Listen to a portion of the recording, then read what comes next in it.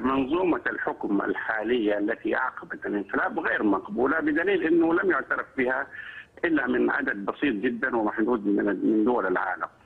آه، وبالتالي لابد هنا من تسوية. وهذه التسوية قد يعني أعتقد أنها تحتاج إلى وسيط نزيه سواء وسيط إقليمي أو وسيط دولي. آه، حبذا لو يبادر الاتحاد الإفريقي لمثل هذه الوساطة أو أو حتى أو تتحرك جامعة الدول العربية للسعي لإيجاد وساطة أو آه، بين الفريقين المتنافرين ونحن بحاجة في الواقع إلى تسوية وهذه التسوية تستلزم ولو بشكل رمزي إعادة الرئيس المنتخب إلى منصبه ولو لفترة محددة.